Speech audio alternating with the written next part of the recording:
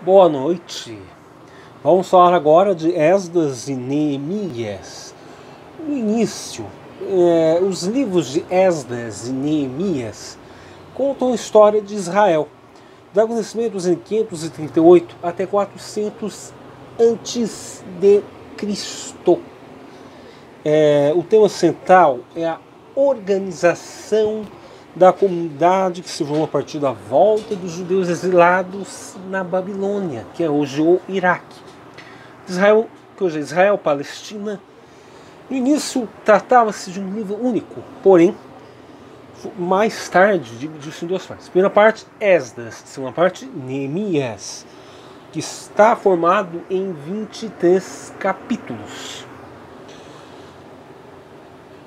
E não estão originalmente na ordem cronológica e literária original.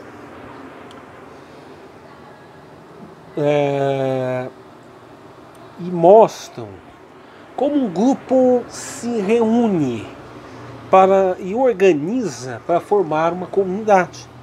Certamente o grupo enfrenta dificuldades para econômicas para sobreviver, se sustentar políticas para construir o seu espaço, ideológicas para manter a própria identidade autêntica. Na conferência dessas três dificuldades, tem a difícil e delicada questão da liderança.